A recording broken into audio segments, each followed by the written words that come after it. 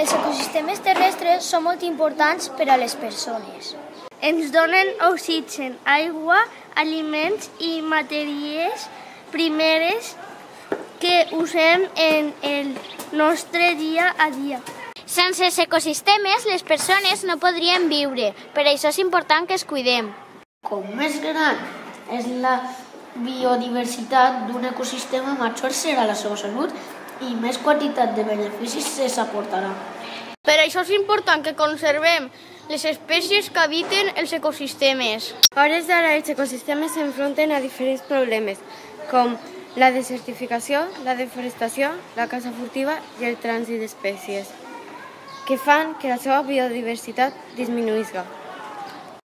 Per evitar que la biodiversitat disminuïsca haurem de protegir les espècies vulnerables o en perill, conservar els seus hàbitats, evitar la introducció d'espècies exòtiques invasores.